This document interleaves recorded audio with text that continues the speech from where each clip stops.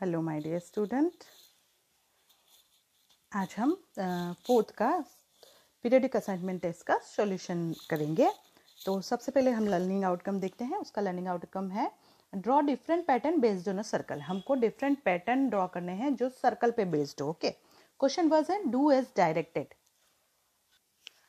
our first question is make a list of any four thing round in a shape see around you तो आप कौन कौन सी thing अपने आसपास के एटमोसफियर में राउंड देखते हैं? तो राउंड तो होता है, देखिए, अगर हम बोले राउंड तो बेंगल होती है राउंड फिर कॉइन भी राउंड होता है ओके फिर पूरी राउंड होती है, और बकेट भी राउंड होती है। तो आपको ऐसी कोई फोर चीज़ों का नाम लिखना है जो राउंड हो। हमारा क्वेश्चन नंबर टू है draw your own design pattern by drawing more than three round and circle आपको तीन राउंड और सर्कल मिला के, जैसे ये वन यहाँ पे टू एंड थ्री आपको क्या करना है? थ्री राउंड एंड सर्कल मिला के अपना खुद का डिज़ाइन और पैटर्न बनाना है, जैसे मैंने ये थ्री राउंड और सर्कल मिला के बनाया है। नेक्स्ट क्वेश्चन है लाइनिंग आउटकम है understand the concept of centre radius diameter of a circle आपको रेडियस डायमीटर और सर्कल का कॉन्सेप्ट अंडरस्टैंड करना है। तो फ़र्स्ट क्वेश्चन है do is directed choose the correct option आपको इसमें से करेक्ट ऑप्शन चूज़ करना है। तो which of the following can be use to draw largest circle अगर हमको एक बड़ा सर्कल बनाना हो तो हम इसमें से किस चीज़ का उपयोग करेंगे, वो आपको बताना है। तो सबसे फ़र्स्ट है bowl glass bucket and pot तो हम क्या लिखेंगे? बाउल लिखे कि ग्लास लिखे कि बकेट लिखे कि पॉट लिखे तो बाउल तो छोटा होता है, ग्लास भी छोटा होता है पॉट भी छोटा होता है, लेकिन क्या होता है? बकेट सबसे बड़ा होता है ओके नेक्स्ट है हुज रेडियस इज़ स्मॉलेस्ट सब उस किसका रेडियस स्मॉलेस्ट होगा? टायर और रिक्शा, चपाती प्लेट और पूरी। तो टायर और रिक्शा का रेडियस बड़ा होगा प्लेट का होगा, चपाती का होगा, पूरी का सबसे छोटा होगा। नेक्स्ट क्वेश्चन है the measure of a circle based on what तो सर्कल का जो मेजर होता है वो किस पे बेस्ड होता है? रेडियस सेंटर चोड और लेंथ पे। तो वो होता है रेडियस पे। नेक्स्ट क्वेश्चन है which part of the circle of important for making a wheel हमको व्हील बनाने के लिए कौन सा पार्ट इंपॉर्टेंट होगा सर्कल का? रेडियस चोट लेंथ और सेंटर तो वो होगा सेंटर सेंटर व्हील बनाने के लिए इंपॉर्टेंट होगा। How many centre can be there in a circle circle में कितने सेंटर होते हैं? सर्कल में ओनली वन सेंटर होता है। ये सर्कल है, उसमें ओनली वन सेंटर होता है।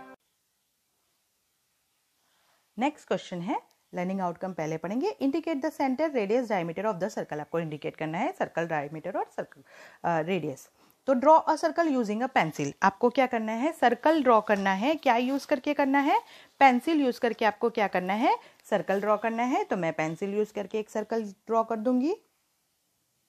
छोटा सा आप एक सर्कल ड्रॉ कर दीजिए।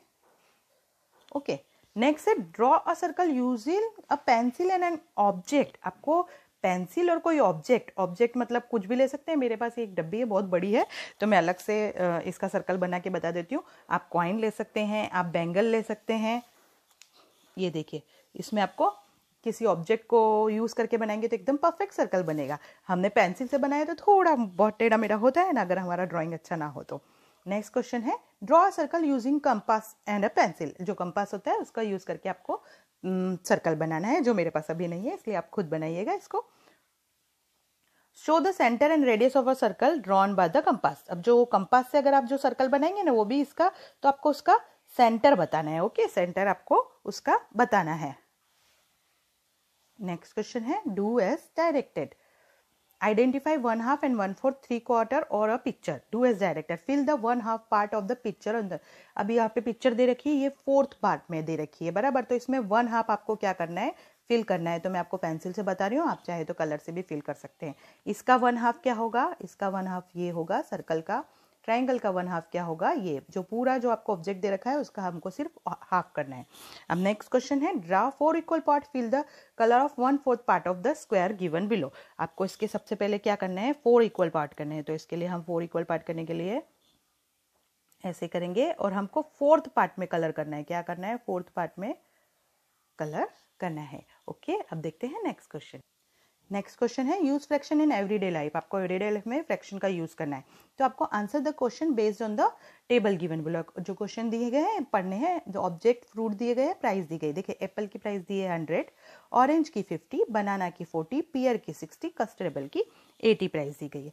अब आपको इन क्वेश्चंस के आंसर देने find the price of one fourth K G apple तो one fourth K G apple की प्राइस आपको पता करनी हो तो एप्पल की प्राइस क्या है? हंड्रेड तो हम क्या करेंगे?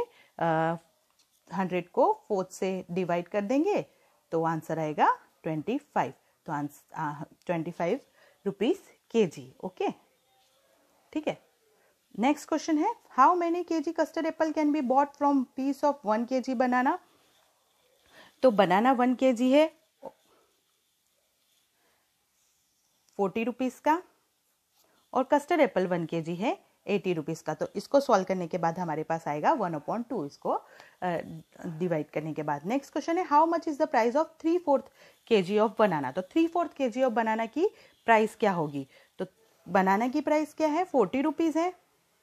और थ्री फोर्थ के जी बोला है तो हम फोर्टी से ये कट कर देंगे। तो यहाँ आया वन ज़ीरो तो ten multiply by three is equal to answer आएगा थर्टी नेक्स्ट क्वेश्चन है how many rupees have to be paid for buying half K G orange और three quarter K G of पियर तो half K G orange जो है, उसका price क्या है? और वन फोर्थ के जी पियर का प्राइस आपको लिखना है। तो आप देखिए यहाँ पे ऑरेंज का प्राइस फिफ्टी है पियर का प्राइस सिक्सटी है। तो हाफ़ के जी के हिसाब से हम लिखेंगे हाफ़ के जी का fifty plus one fourth K जी का सिक्सटी। तो अगर हम इसको सॉल्व करें तो ये यहाँ पे ट्वेंटी फाइव हो जाएगा। इसको अगर हम सॉल्व करें तो यहाँ पे फिफ्टीन आएगा। तो ट्वेंटी फाइव प्लस फिफ्टीन हम करेंगे तो हमारा आंसर आएगा फोर्टी रुपीज़ ओके तो यहाँ पे आपका टेस्ट पेपर फिनिश होता है। आई होप कि आप प्रैक्टिस करेंगे। Thank you